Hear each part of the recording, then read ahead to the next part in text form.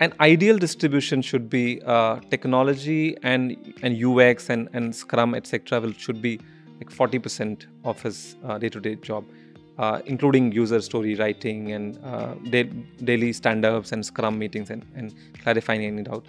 Another 20 to 30% should be around looking at data and analysis and you know whatever we have done, what has been the impact, or whatever we need to do uh, what is the hypothesis behind it and talking to uh, product analysts and you know just getting these data uh, and the rest uh, i would say 30%. around 10% should be in uh, and when i say data data can also be like numeric as well as when you're hearing customers feedback etc that's also yeah. yeah that's also kind of data Uh, and then rest will be you know your stakeholder management and you know your uh, speaking to marketing people business people somebody has a complaint somebody has something else.